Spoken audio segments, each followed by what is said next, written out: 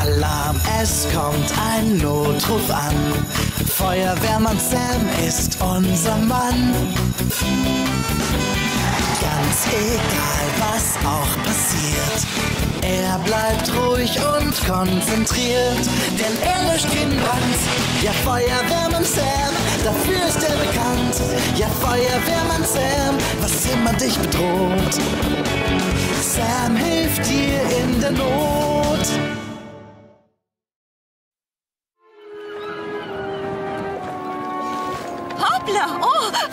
Vorsicht, Norman! Ich weiß, was ich tue, Mom. Ja, du spritzt mich nass.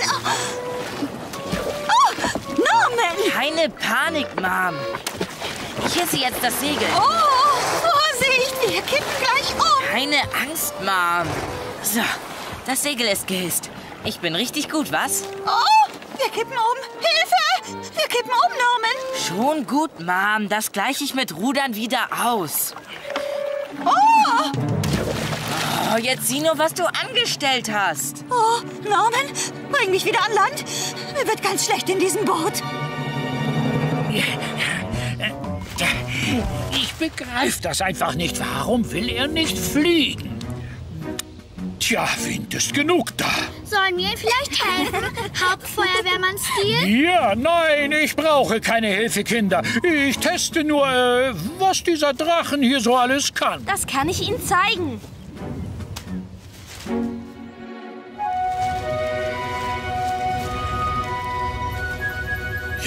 Meiner Träume. Oh, wir sind so weit draußen und es ist zu windig. Oh, bring mich an Land, Norman. Der Sturm wird uns noch umblasen. So windig ist es doch gar nicht, Mom. Beruhige dich. Oh, aber jetzt fahren wir ja im Kreis herum, Norman. Das liegt daran, dass ich nur ein Ruder habe. Oh, oh ich glaube, mir wird gleich schlecht. Uh, Vielleicht sollten wir doch Sam anrufen. anrufen? Oh, aber das geht nicht.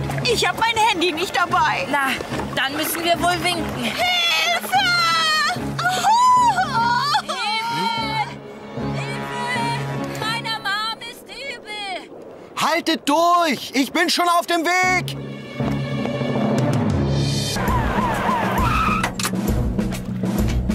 Ich sehe sie. Los geht's. Oh,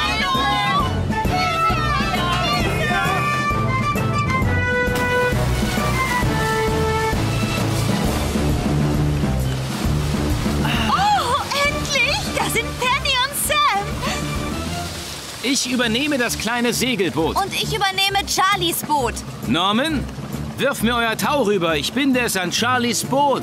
Mach ich, Sam. Und ich schleppe euch zusammen mit Neptun hier weg. Wir sind in ein paar Minuten wieder an Land. Oh, ich kann es nicht erwarten, wieder festen Boden unter den Füßen zu haben. Das war nicht meine Schuld. Das war der Wind. Norman, ich sagte dir doch, dass du eine erwachsene Begleitperson mitnehmen musst, wenn du rausfahren willst. Das hatte ich doch. Komm schon, Norman. Du weißt genau, was Penny meint. Tut mir echt leid. Ich habe euch damit alle in Gefahr gebracht. Vielen Dank, dass du uns geholfen hast, Charlie. Und vielen Dank, Sam. Ach, na, das ist doch klar, Norman. Mach das nur ja nicht wieder, hä? Wenn die Steuerung wieder heil ist, darf ich dann vielleicht auch mal das große Boot fahren? Probier doch erst mal etwas weniger Gefährliches. Lass doch mal einen Drachen steigen. Ja. Beim Drachensteigen lassen kommt man sicherlich nicht in Gefahr. Sandwich, Norman? Äh, ich würde mich hier gern erst etwas umsehen. Du wirst niemals ein großer, starker Junge, wenn du nicht deine Sandwiches aufisst. Nein, Mom, ich bin ein großer, starker Junge. Und ich will mich jetzt umsehen. So ungeduldig, was soll's? Guten Appetit, Trevor. Krabbenpaste. Wissen Sie, Dillis, ich. Äh, Wie kann ich da Nein sagen?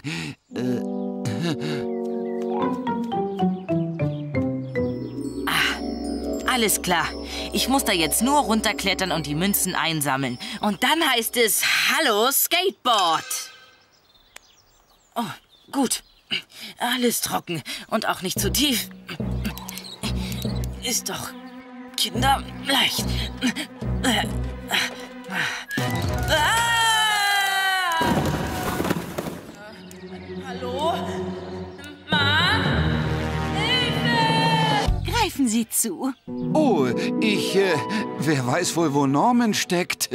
Hoffentlich ist ihm nichts passiert. Oh, bestimmt versteckt er sich. Das spielt er zu gerne. Und wir sollen ihn dann finden. Norman! Norman Price! Er muss ganz in der Nähe sein. Wollen Sie sich nicht etwas wünschen? Gut, äh, na dann, Und?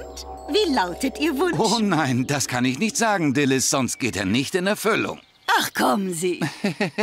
Nein, Rücken Sie raus damit. Oh, nun sagen Sie ihr schon, was Sie sich gewünscht haben und dann holt mich hier raus. Er spricht. Ein redender Wunschbrunnen. Ich bin es doch, Mom. Ich sitze fest. Norman! ich rufe Feuerwehrmann Sam.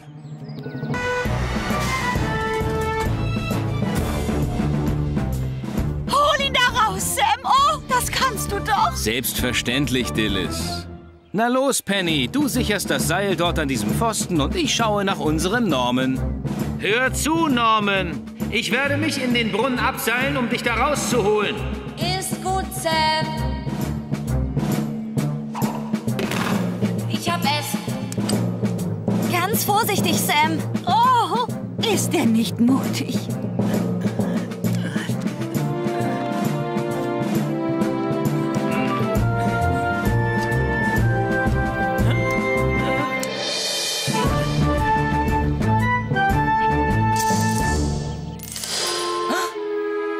Alle Münzen verloren.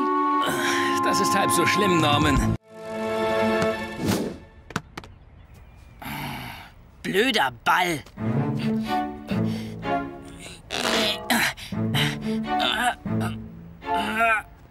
Was? Hä? Oh nein, ich stecke fest. Hallo? Hey, kann mir jemand helfen? Ist da niemand? Ich fuhr hier zufällig vorbei und fand ihn genauso vor. Kannst du dich da nicht irgendwie herauswinden, mein Schatz? Habe ich versucht, Mom. Es liegt an seinen Ohren. Oh, Norman, du bist noch viel schwerer zu hüten als ein Sack Flöhe. Ich denke, wir sollten lieber Feuerwehrmann Sam rufen.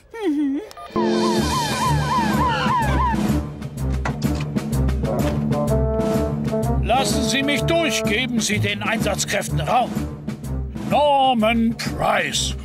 Wer wohl auch sonst? Ach, hallo, Hauptfeuerwehrmann Stil. Bitte helfen Sie meinem Jungen. Meinen Sie, Sie können ihn frei bekommen? Treten Sie beiseite und lassen Sie mir bitte etwas Platz, ja?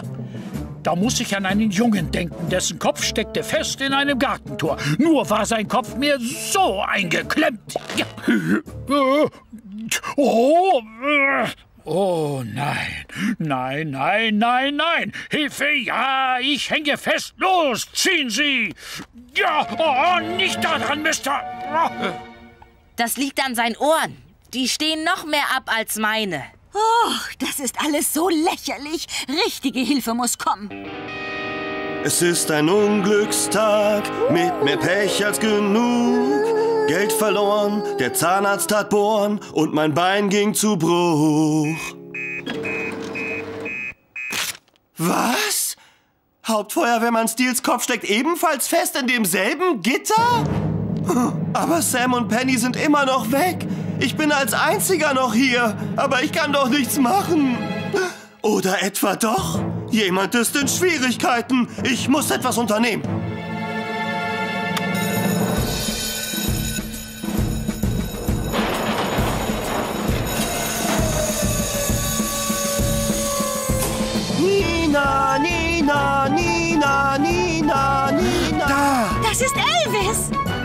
Whittington? Du meiner Treu. Ich melde mich offiziell zum Dienst. Jetzt und immer. Ach du meine Güte. Kein Problem, ihr seid da sofort raus. Trevor, ich brauche die hydraulische Schere hinten beim Werkzeug von Venus. Oh ja, ich hole sie.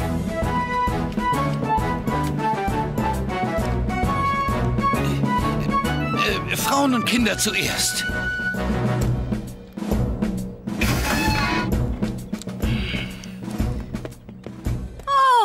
Kleiner Bengelengel, du bist gerettet. Was ist das?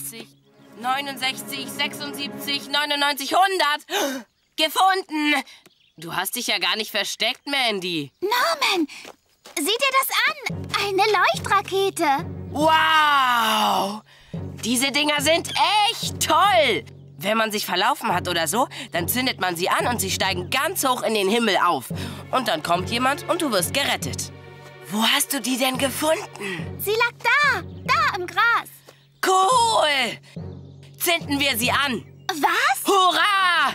Wir machen unser eigenes Feuerwerk, Mandy. Also ob das so eine gute Idee ist? Nein, das ist eine tolle Idee, ja. Vielleicht sollten wir sie Feuerwehrmann Sam geben. Ach, jetzt sei doch keine Spielverderberin. Komm mit, ich weiß einen Ort, wo wir sie loslassen können. Dieser Tom. Wo steckt er denn nur bloß? Na, dann fange ich eben ohne ihn an. Er wird ja sicher jeden Moment hier sein. Hier, das ist doch wohl ein toller Ort, um sie anzuzünden, oder? Immerhin ist hier kein Mensch in der Nähe. Nur ich, du und die Rakete. Bist du auch sicher, dass das nicht gefährlich ist? Mandy, du klingst schon genau wie meine Mom. Wie soll denn etwas gefährlich sein, womit man sonst Menschen rettet? Hm, da hast du recht. Hm. Das, was ich tun muss, ist diesen Knopf zu drücken. Na los jetzt, Mandy. Mach schon. Nein. Du traust dich wohl nicht, was, Mandy? Feigling, Angsthase. Es geht nicht darum, dass ich sie nicht anzünden kann, sondern dass ich sie nicht anzünden will. Und es ist mir egal, ob du mich für cool hältst oder nicht. Hilfe!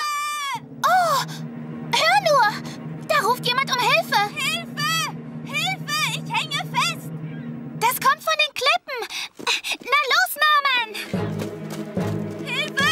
Hilfe! Hier oben! Oh, das ist Penny! Was für ein Glück, dass ihr hier seid! Ich hänge fest! Wir müssen sofort Hilfe holen, Norman! Moment mal! Was hast du da in deiner Hand? Äh, eine Leuchtrakete. Was? Aber das ist kein Spielzeug. Die haben wir gefunden. Ich wollte sie eigentlich gerade Feuerwehrmann Sam bringen. Das ist gut. Aber im Moment können wir sie hier besser gebrauchen. Würdest du sie mir bitte hochwerfen, Mandy? Ich? Oh, wird gemacht. Ein super Wurf, Mandy. Wow! Wow! Tja, ähm, schau her. Oh je.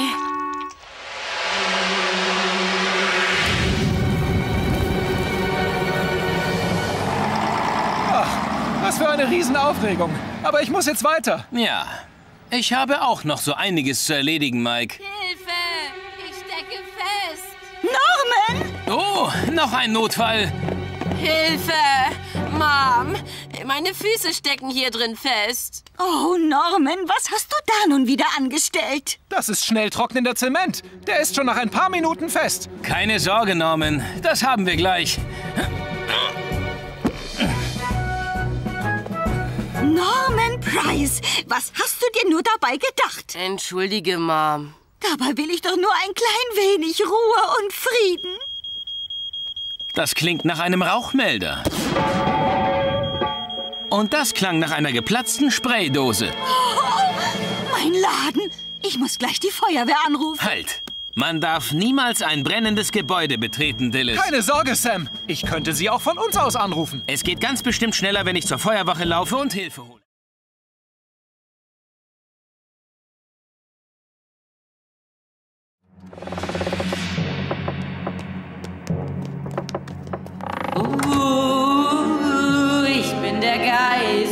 Geist von Pontypandy. Hallo, Norman. Ach, ihr seid gemein. Mandy hat euch sicher gesagt, dass ich es bin. Ja, ich habe gewonnen. Ich habe deine Mom erschreckt, aber du bisher noch niemanden. Ha, aber Halloween ist doch nicht vorbei. Jetzt zünden wir die Kürbislaterne an. Oh, na endlich.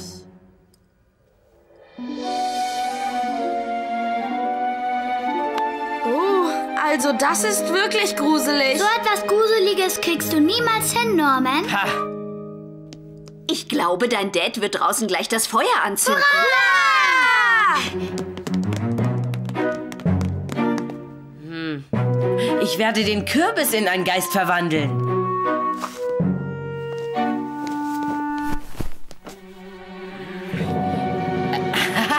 Perfekt.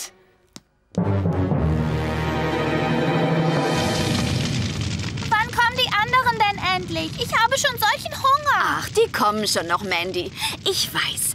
Norman kann uns doch so lange seine Geistergeschichte erzählen. Na gut. Aber das ist nicht nur eine Geschichte, sondern es ist ganz in echt passiert. Na klar, Norman. Jetzt erzähl schon die Geschichte. Es war eine dunkle und stürmische Nacht. Halloween. Der Geist von Pontypandy wanderte mit seinen klappernden Ketten durch die leeren Gassen und heulte. Oh. Das klingt aber mehr nach einem Seehund. Der ganz in weiß gekleidete Geist wanderte den Berg hinauf zu dem Haus, in dem er einst wohnte. Dieses Haus. Er ging einfach so durch die Wand und direkt ins Wohnzimmer. Und dann ging er rüber zum Fenster und dort nahm er dann seinen Kopf ab. Norman, du bist ein Spaßvogel. Und dort steht der Geist jetzt auch. Und er starrt euch alle an. Na los, wenn ihr euch traut, dann dreht euch doch mal um. Na gut. Nein! Oh nein! Der Kürbis brennt da! Oh, Feuerwehrmann!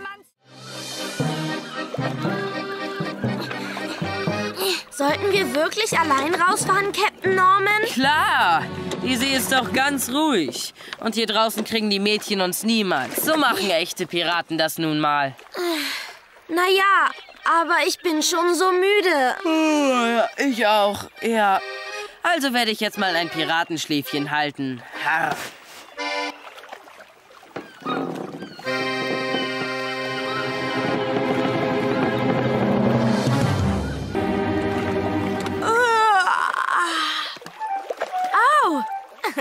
Zeit für das Picknick.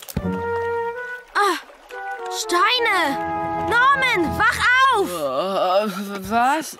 Kein Wunder, dass der Korb so schwer war. Diese doofen Mädchen haben ihn mit Stein gefüllt. Jetzt vergiss doch mal das Picknick. Wo sind wir? Wir müssen von der Küste weggetrieben sein, als wir schliefen.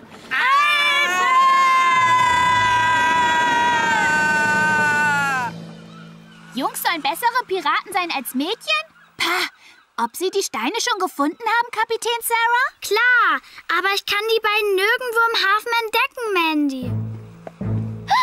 Sie müssen weit aufs Meer hinausgefahren sein. Na, ihr Piraten, habt ihr schon Schiffe entdeckt? Nein, Dad, das ist ja das Problem.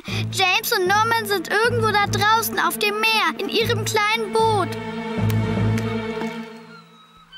Das Meer mag ruhig aussehen.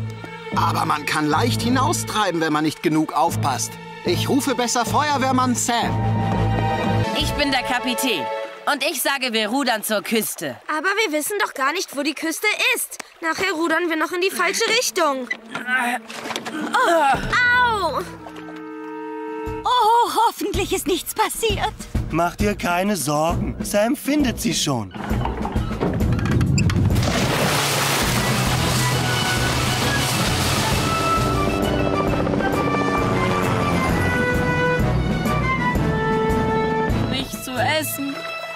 Kein Wasser. Was sollen wir denn jetzt tun, James? Also jetzt beruhige dich doch mal, Norman. Die suchen bestimmt schon längst nach uns. Aber das Meer ist so riesengroß, James. Wir sind wie eine winzig kleine Nadel in einem Wasserhaufen. Hä? Hier!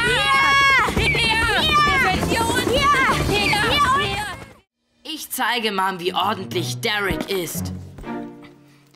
Ist doch kinderleicht. Halt mal.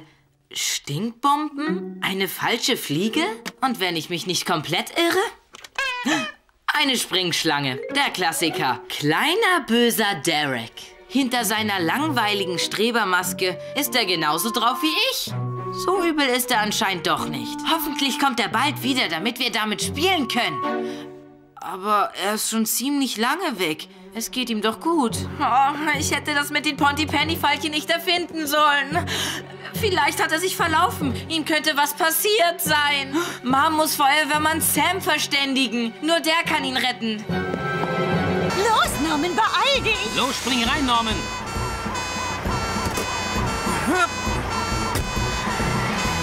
Fahr vorsichtig, Sam!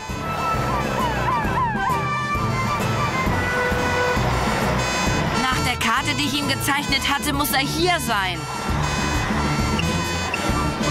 Aber er ist hier nirgendwo zu entdecken. Wir sollten die Sirene ausstellen. Vielleicht können wir ihn dann rufen hören. Hilfe! Hallo! Hilfe! Was ist das? Ich glaube, ich kann ihn hören, Sam. Helf mir! Da.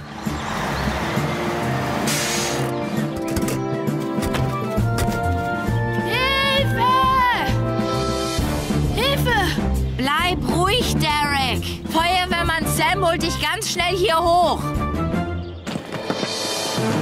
Vorsicht! Die Steilwand bröckelt schon. Wir müssen ihn schnellstens hochholen. Mit vereinten Kräften. Genauso wie wir als Team deinen Schlüssel geangelt haben. Nur bin ich diesmal der Haken. Passt auf. Elvis, du steuerst die Winde. Und Penny, du gibst ihm Anweisungen. Kein Problem, Sam.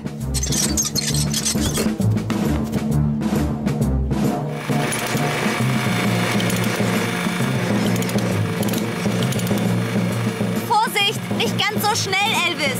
Sam ist fast da. Und stopp. Perfekt. Derek, du musst dich jetzt an mir festhalten. Wir werden gleich oben sein. Ah, danke. Ja, er hat ihn, Elvis. Zieh die beiden hoch, aber schön gleichmäßig. Hallo? Oh nein! Hilfe! Oh, Ganz ruhig, es Norman, ist so ganz hoch. ruhig. Ich komme hier nicht Sam runter. wird gleich hier sein.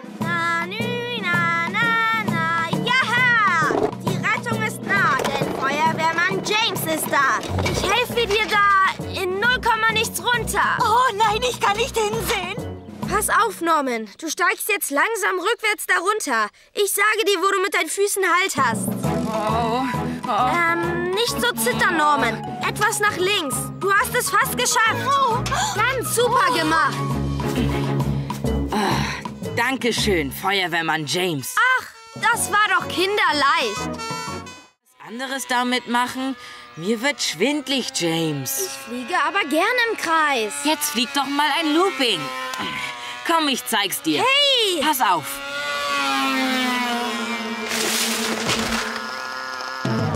Oh, weia. Was war das denn? Oh, das sollte eigentlich nicht passieren. Ist es aber. Das kriegen wir da nie runter. Wir könnten doch versuchen, den Baum raufzuklettern. Aber der Baum ist viel zu hoch, Norman. Hey, wir nehmen einfach die da.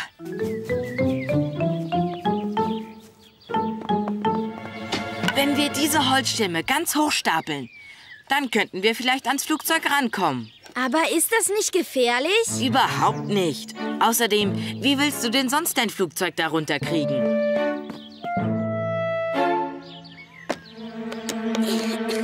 Das ist aber ganz schön hoch. Ich komme rauf und helfe dir.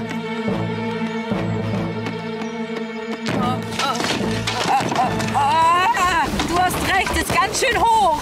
Ah, Das ist alles deine Schuld. Warum habe ich nur auf dich gehört, Norman? Hilfe! Hilfe! Es hat keinen Zweck, Norman. Tom Thomas ist nicht in der Bergwacht. Ich kann seinen Hubschrauber von hier sehen. Da, bei der Feuerwache. Och, so ein Pech. Aber ich habe eine Idee, James. Nein, Norman. Ich habe genug von deinen Ideen. Außerdem ist mir gerade selbst was eingefallen. Dann beeil dich aber. Meine Arme tun schon weh.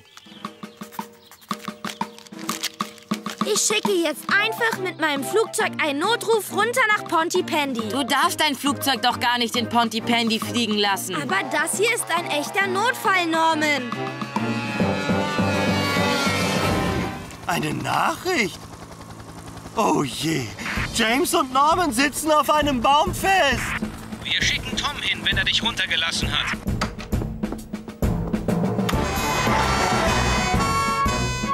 Ich kann nicht mehr. Aber du musst doch durchhalten. Sieh nur. Da sind sie. Hurra! Festhalten, Norman. Retten wir die beiden genauso, wie wir Dolly gerettet haben? Diesmal gehen wir anders vor. Wir müssen erst Norman retten und dann James. Du holst das Sprungtuch und ich hole die Leiter. Wird gemacht, Sam. Beeilt euch. Ich kann mich hier oben nicht mehr sehr lange halten. Lass dich einfach fallen, Norman. Wir fangen dich auf. Äh, ah! Oh, oh, oh, wow, das war spitze. Eine heiße Schokolade, Norman? Norman! Oh, oh nein! Er hat sein Frühstück nicht angerührt. Oh, er muss hier rausgeklettert sein. Oh, dieser ungezogene Junge!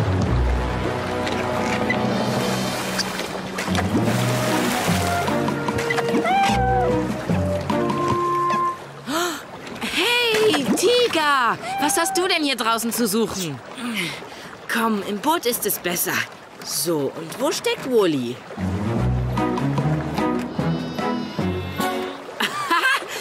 Habt keine Angst, Wooly. Norman ist gleich da und holt euch.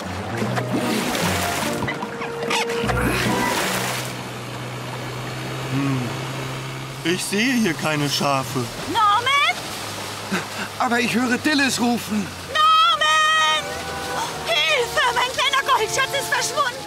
Könnte es sein, dass er los ist, um Wooly zu suchen? Ja, er hängt so an diesem kleinen Schaf. Haben Sie keine Angst, Dillis. Ah! Ich, äh, ich bin ganz sicher, dass Penny und Elvis ihn finden. Ich halte hier die Stellung und äh, werde Ihnen Gesellschaft leisten. Oh, danke. Sie sind so ein Kavalier, Trevor. Aber Norman braucht mich. Ich muss unbedingt mitkommen. Hier. In Ordnung, Dillis, aber Sie müssen eine Schwimmweste tragen. Penny ruft Sam. Wir brauchen dringend deine Hilfe. Norman Price ist allein im Hochwasser unterwegs. Wahrscheinlich in Richtung Weide. Fein, äh, ich halte hier die Stellung.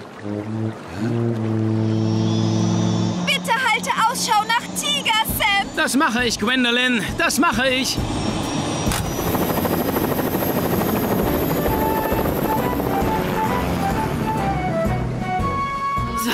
Das wär's. Alle an Bord. Rück mal ein Stück, Tiger. Gleich sind wir alle wieder in Sicherheit. Nur noch die Ruder. Hey, ihr dürft nicht so wackeln, ja? Gleich habe ich es.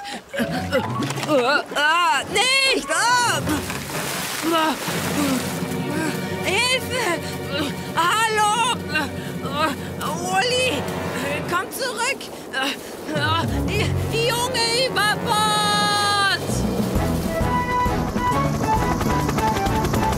Soll ich diese Gegend noch mal überfliegen, Sam? Nicht nötig. Siehst du, da unten ist er.